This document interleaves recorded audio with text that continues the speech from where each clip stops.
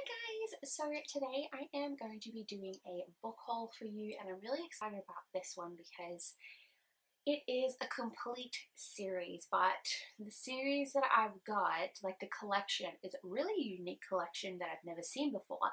Um, so let's get into it. So I, if you have watched some of my vlogs, you would have heard me say that I had gone into a bookstore here in Australia called QBD one um, afternoon on my way home from work and I saw a miniature version of the Throne of Glass series and their miniature books and I immediately fell in love with them and knew that I had to have them.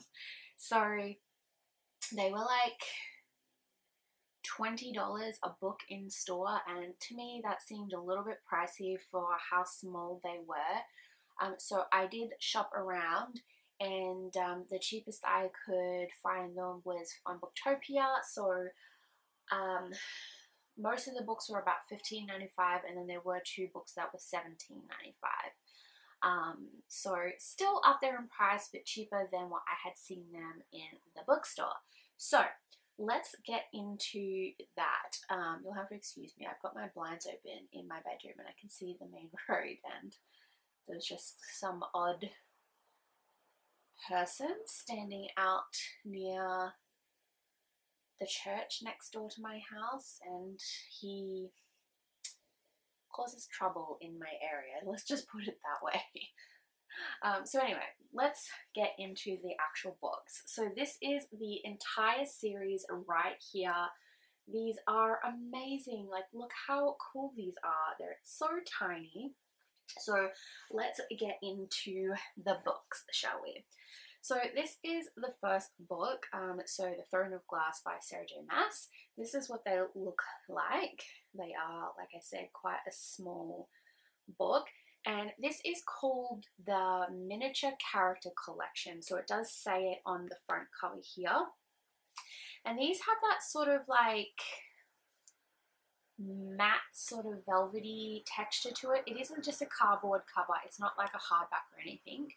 Um, but it has like a matte sort of finish to it with that. It's got that like softy sort of touch.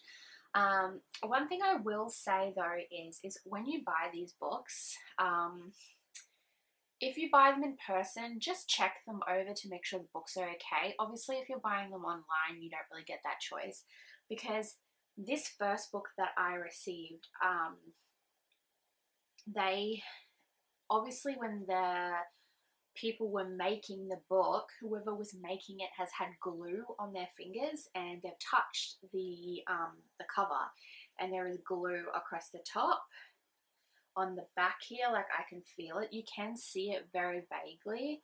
Um, there's also glue down the bottom here. And then on the front of the cover, there's glue at the top and then a little bit down the bottom as well. Only this one book, but just keep that in mind. Um, it's a little bit irritating that obviously someone didn't care enough to wipe their hands before touching a book, but I'm not to bother know, saying anything about it because I just, I honestly can't be bothered. But this is really cool. Um, so each book does have its own color. So on the back of the cover, um, you will have to forgive me. I've never read this series, so I don't know how to pronounce a lot of the names in the series. Um, so please, if you do know how to pronounce them correctly, just let me know down in the comments below but each book has a different colored ink that represents the character that the book represents, right? So, for instance, this one says, um, is it Celaena? I don't know if that's how you pronounce the character's name, but celebrate Celaena with this special miniature edition featuring her name highlighted in the Rifthold Violet ink. And so, when you open the book, the end page looks like this. So, it's this beautiful uh, purple color. And you have, let's see, the map as well on the inside. Let me just get to that. Um, so that's what that looks like. And then when you get to the actual story itself, this is what it looks like. So down the side of the page, it has these purple sort of detailing, and then the character's name. I don't know how well this is going to show up on camera because it is quite small font, but the character's name in the book is highlighted in the Rifthold Violet ink, so it's purple, and that is that way throughout the whole entire book. Now, these are quite small font, um, so it's not like a large print, it is a very small font to read, so this might not be the best book to read at nighttime in like less light. And another thing I will say is, is the paper is really soft and buttery, but it's that really thin paper that I've often seen used in Bibles. Um, so it's like that really, really soft, thin paper. So that's the first book. Um, I just, I love it. I really do. Um, so the second book is obviously Crown of Midnight. And this one looks like this. And this one, um, the colors change again. So this one says celebrate Dorian with this special miniature edition featuring his name highlighted in the Adarlan Crimson ink. And so when you open the end pages, it is in red. And then the font, um, let me see. Okay, so then you have on the inside of this one, the red detailing down the sides, which is slightly different to the first book. And then Dorian's name. Um, let's see, Dorian's name is also in the red, um, which I, I really love that touch to these books. So there's that one. The next one is Heir of Fire. Uh, so that's what it looks like. Please do excuse the noise outside. Um, and then this one says Celebrate Rowan with this special miniature edition featuring his name highlighted in Terrasen green ink. So you, again, you have the green end pages. And then you have, um, let's see, I'm trying to find a page with his name. There we are. Okay, so then you have the green detailing on the side. You also have it on the top of the beginning of a chapter and then his name highlighted in the green as well. And they um, really did put a lot of detail into like these little books. The next one is Queen of Shadows. Um, this one is um, Manon, and Manon has um, his name, like, I don't know, is her, no, sorry, her, Manon, I don't know if I'm pronouncing that right, I'm so sorry, but um, her name is highlighted in Crochan red ink, so you have this kind of like burgundy sort of end pages, you have the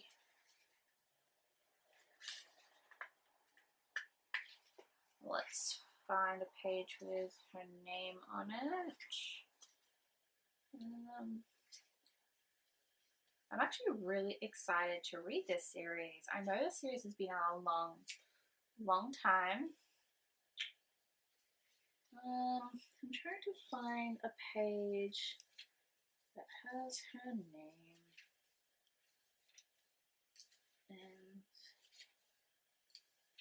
I'm seriously not finding one. Just gonna. Ah, here we are. Found one. So the this one has like a burgundy sort of swirl detail on the side, and then her name is highlighted in that sort of Crochan red ink. So there's that one. The next one is Empire of Storms. So this one is Lysandra, and her name is highlighted in Caraverre Ochre ink. So the inside is this bright red and, I mean bright orange, sorry, end pages. And then um, the, where is it? Just trying to, okay, and then you've got the orange sort of detailing on the pages on the sides and then her name is in that color as well. The next one will be Tower of Dawn, and this one is is it Chaol? C H A O L, Chaol. Um, his name is highlighted in Antica blue ink. The end pages are obviously blue. And then the map is different in this one as well. So that is the map. And then you have the beautiful blue detailing on the sides as well as his name highlighted in that blue as well. The next book, and it's also the biggest book, is Kingdom of Ash, and it's this beautiful sort of goldy yellow color. And this one is Aelin. Her name is highlighted in Orynth Gold ink. I think that's how you pronounce it. Um, so you've got these sort of goldenrod kind of colored end pages. And then you have the same sort of coloring and the detailing on the side of these pages are actually really beautiful. And that is what it looks like there as well. And then the very last book is the novellas, so the um, Assassin's Blade. And this is what it looks like. And this one says um, Sam's name is highlighted in Avery River Teal ink. And this is, I think, the smallest book of them. And it's got this beautiful teal colored end pages. And then you have um, these beautiful teal like detailing on the side and Sam's name highlighted in them as well. So that is all of the books, and I just think this is like if you're a fan of Sarah J. Maas and her work, I think this is definitely a collection that's well worth having. Um, I've never, like I said, read The Throne of Glass. I have read some of her other books, but um, I have wanted to read this series for such a long time, and I honestly cannot wait to read them. Like I do have some time off work coming up um, starting next week.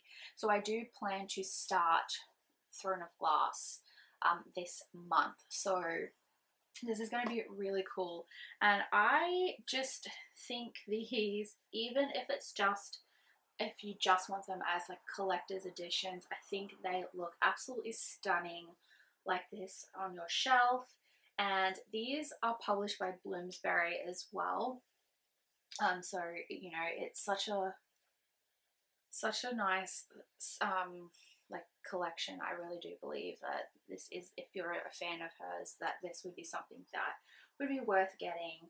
Um, even I know like it probably seems so far away, but Christmas, this would be such a beautiful Christmas um, gift to give someone um, who is a fan of hers or even just a fan of books in general. So anyway guys, that is everything. I really, really hope that you enjoyed this. Um, I will leave a link to Booktopia, which is where I got these from, and I'll link it down below because they're the best price that I have found them here in Australia.